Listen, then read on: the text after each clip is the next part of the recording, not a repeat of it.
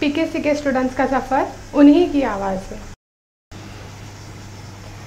I am Anjali Shukla and I have pursued my bachelor's from specialization in biotechnology from Khyati Institute of Science.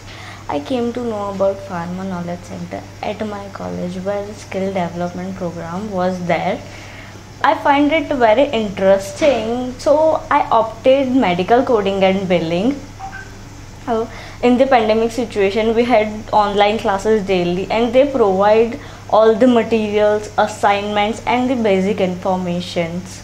Uh, it was great experience with the faculty and nishut sir Nazanin ma'am they are very helpful during the course and after the course.